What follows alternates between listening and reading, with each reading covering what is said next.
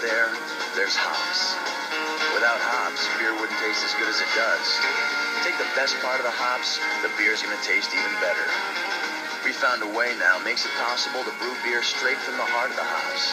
For a beer with heart that goes down easy. We think so much of this new beer, we're just calling it who we are. Miller, always new possibilities. Gotta reach for what's out there.